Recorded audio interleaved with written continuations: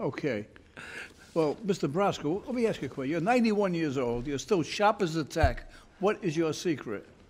Uh, I think it's my wife, really. Oh, It keeps my cool.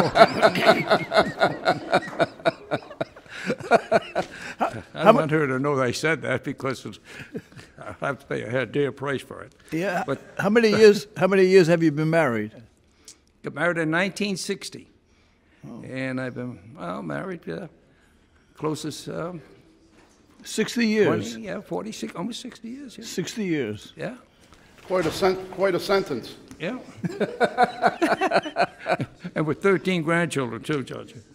So- so- so, I- I'm going to appoint a, uh, I'm going to have a court-appointed lawyer representing you. Counsel Bevelacqua, get up here. I mean, I've witnessed uh, Attorney Brasco's argue